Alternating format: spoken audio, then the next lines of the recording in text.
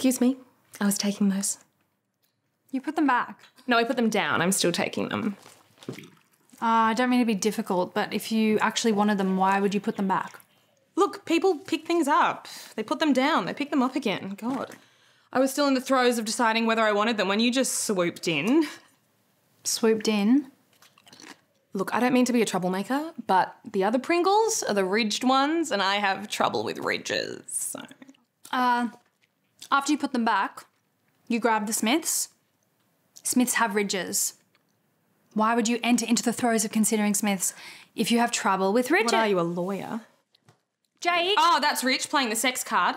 Excuse me? You just think he's automatically going to side with you because you look how you look. Give me my Pringles. Fine. But let's be honest here. You decided that you didn't want them. And then when you saw that I wanted them, you decided that you wanted them back. You pissy little thing. In your little farm girl outfit.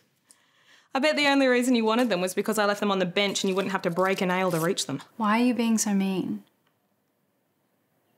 Is it because you look how you look? I won't even dignify that. I've got the Pringles.